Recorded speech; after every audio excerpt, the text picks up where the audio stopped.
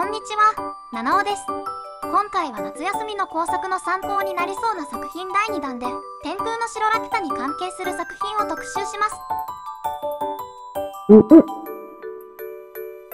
まずはこちら。本当に行くラピュタ城です。ラピュタ城は市販のペーパークラフト製ですがそれにレビステージという時期を使って浮遊させる装置を組み込んでいます。ラピュタ城は段ボールやジオラマモスなどを使って自作して他の方法で浮遊させるか浮遊感を再現することを考えてみると面白そうですね。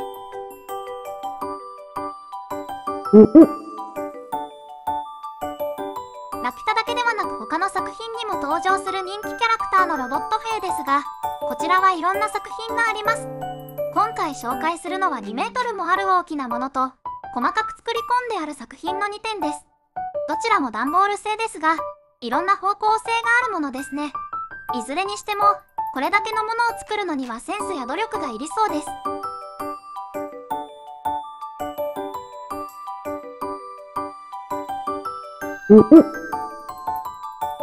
さて次も段ボール作品でドーラ一家やパズーが使っていた大砲です。こちらもいくつか作品が見つかりますが今回は本当に小さな弾を撃てる陽太郎ゲーム工作チャンネルさん制作のものを紹介します。断層が作中の大砲の弾の形になっていてパズーと同じように装填できるところが良いですね。こちらはなんとフラプターのラジコンです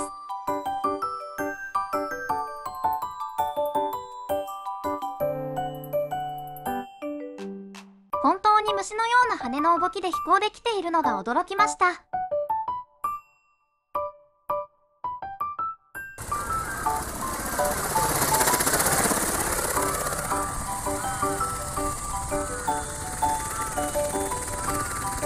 これは夏休みの工作には難しそうですが虫と飛行機やヘリコプターとの違いを調べて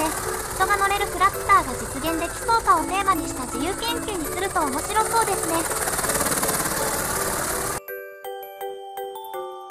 さて次はドーラ一家のタイガーモス号です。こちらは飛行はできませんが内部の装飾や人物まで再現してあります。タイガーモス号は共同生活をする中で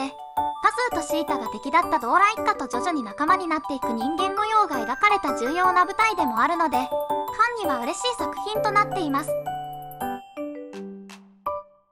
のラピュタの工作特集はいかがでしたか？70チャンネルでは話題になっていることやライフハックなど知ってて得しそうなネタ話題に使えそうな動画を制作しています皆様からのご要望もコメント欄で受け付けますのでまずはチャンネル登録してくださいね。以上、七尾でした。